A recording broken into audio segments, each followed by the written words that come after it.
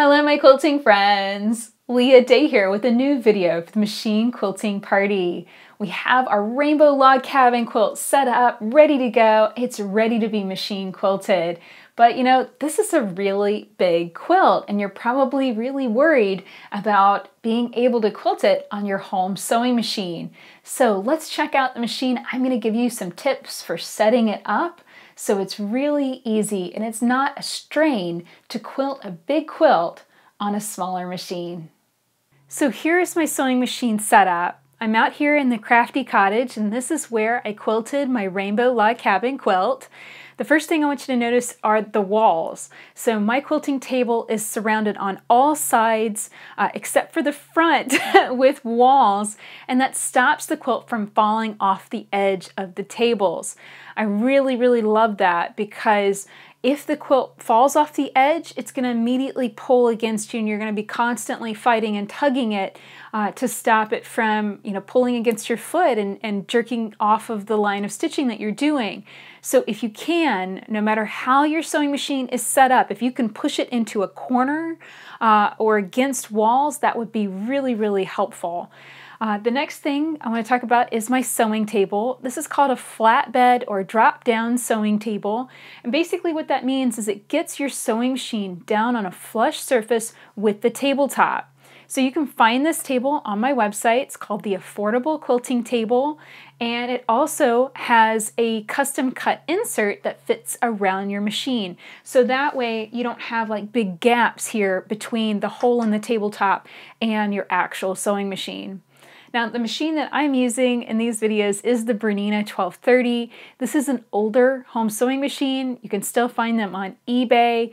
Uh, they're wonderful machines, very sturdily built and have a beautiful array of feet that you can find for them, still compatible from Bernina. So I highly re recommend this machine as a home sewing machine. This is not the only one that I own uh, because they're just so dependable. I can get them serviced once a year and they work great. And I really love them. I love the walking foot that's designed for these machines. I love the darning foot that's designed for it as well. So I do think it's a good choice. However, there is a very small harp space here. And that can be a little bit of a struggle when quilting a big quilt. But I promise, getting the machine down on a flush surface, that really is the key because you don't have that hump of the arm up on top of the tabletop uh, that you're kind of pushing and pulling the quilt over. Instead, it's down on a flush surface, so you can put the quilt underneath the foot and it just be sliding back and forth across the table. Now I have expanded the table surface here. Uh, I did this with a big melamine board that I bought at the office supply at the uh, hardware store and we just cut out a shape for my table and then I took the extra piece and extended it over here.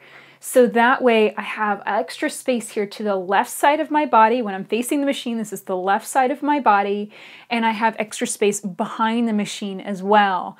And that's really where you need the extra space. You really don't need extra space to this side, to the hand wheel side of the machine, because uh, it's just not useful. The quilt usually doesn't end up on that side of the machine because it's kind of blocked by the motor. So really you want to focus on building your table, setting up your table so you have more space to the left side, more space to the back. And you can do that by, you know, building a setup like I have or by just simply setting up two folding tables. You could set up a three foot by six foot folding table to the back. You could set up a three foot six by six foot folding table to the side, and that probably would be more than enough. And I know Lowe's, uh, Walmart, all of those places have really inexpensive folding tables that collapse down, and you could just stash them in a closet when you're not using them. And I have several of those from many different quilting setups over the years, and I still find them very, very helpful. We pull them out on canning days, whenever we have family over, we need a big table to serve everybody at it's sometimes a really nice thing to have on hand, just some extra folding tables laying around. You can expand your quilting setup when you need to, you can shrink it back down when you need to. Uh, I do think that this is a worthy investment. And uh, rather than spending money on a much bigger, more expensive sewing machine, use the machine that you have right now and see if it will work. You know, see if you can get your table set up in a way so that it doesn't fight you One last thing that you could consider doing, and that is going vertical. Uh, so uh, inside, I don't do this out here just simply because the table's set up big enough, but in my house, I have a curtain rod hung over a window and I have a machine set up there. And uh, I use a bungee cord clamping system. And here's a picture of a quilt clamped up on that system. So basically, it's just a bungee cord hanging onto the curtain rod. And on the other end of the bungee cord is a clamp, and that clamp holds the quilt. Now, the one thing to keep in mind about any sort of clamping system is that you're going to need to continually adjust it. So for every line of quilting that you do, uh, even as you are stitching, you're going to need to stop and reclamp continually because as you move, you know, basically any area of the quilt, uh, you're going to have to continually be shifting and repositioning those clamps so they're helpful. So that's still going to be a bit of a stop and start. You know, there's not really uh, a, a, magic bullet when it comes to quilting big quilts on your home sewing machine.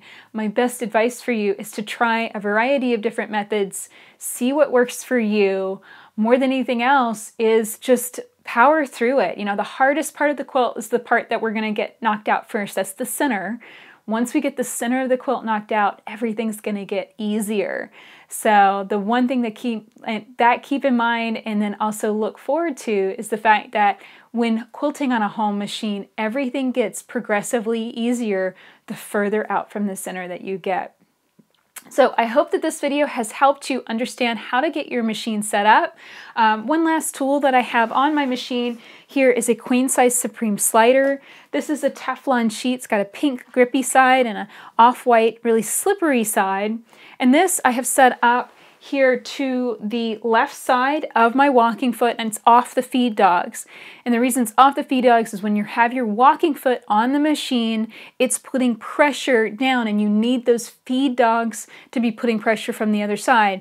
So if you put the slider over those feed dogs, it's probably gonna get ripped. So don't do that pull it off the feed dogs, put it on the side, and when you're just getting used to using it, make sure to tape down the corners so it stays nice and secure. You can build up lint on the back side of a Supreme slider and uh, so it won't be as grippy. Take it off occasionally to your sink and rinse it off so that way it stays nice and grippy and holds tight to your tabletop.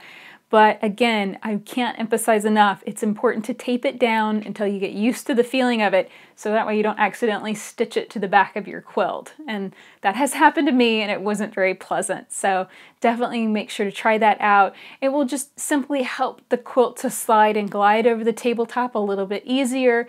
Take, you know, the goal here is to make the quilt easy to move so it slides easily over the surface so the walking foot and the feed dogs can do their job feeding the quilt forward and making those beautiful nice even stitches. So I hope that this has been very helpful and you can see how I've set up my machine and tables uh, no matter what setup you have, no matter whether it's temporary and it's on your dining room table, it doesn't matter. I truly believe that you can quilt your own quilts, even large quilts like the Rainbow Log Cabin, on your home machine. And I look forward to teaching you how. Now, coming up next, we're going to learn how to stitch in the ditch and get the layers of our quilt secure, so I hope that you'll check that out and come back for more videos on the Machine Quilting Party. And don't forget to pick up a copy of the book, Explore Walking Foot Quilting with Leah Day, to get the patterns that you need to follow along with this year's Quilt Along. We're going to make the Rainbow Log Cabin, the Marvelous Mosaic Quilt, and the Prism Path Baby Quilt, and all of the patterns can be found in this book. You can check it out at leahday.com slash walkingfoot. If you enjoyed this video, please like it, share it with your friends, and subscribe to our videos on YouTube so you don't miss the next video coming out soon. Until next time, let's go quilt.